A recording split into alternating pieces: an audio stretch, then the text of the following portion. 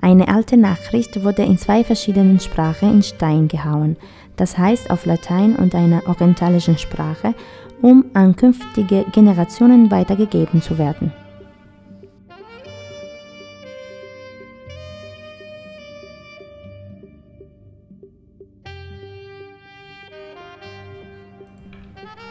Darüber steht ein großer Stern, der das gute Omen der Ehe darstellt und auf die moralischen Grundsätze für ein glückliches Leben verweist.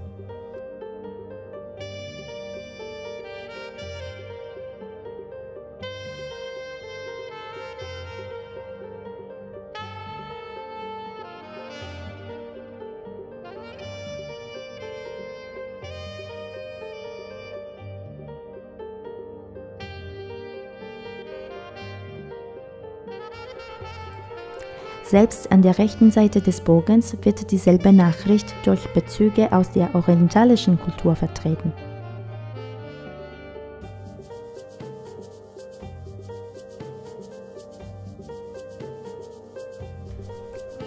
Anstelle des Hundes wie links steht rechts im Bogen eine Henne, welche dieselbe metaphorische Bedeutung des Hundes hat.